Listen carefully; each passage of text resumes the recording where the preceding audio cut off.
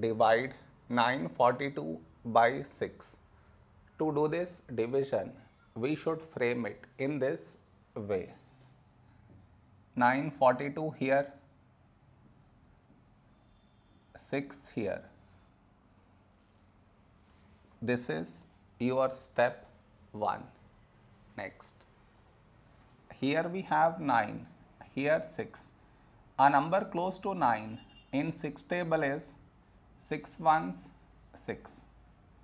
Now we should subtract, we get 3. After this, bring down the beside number, so 4 down, so 34. A number close to 34 in 6 table is 6 fives 30. Now we subtract, we get 4. After this, bring down the beside number, so 2 down, so 42. When do we get 42? In 6 table, 6 sevens 42. Now we subtract, we get 0.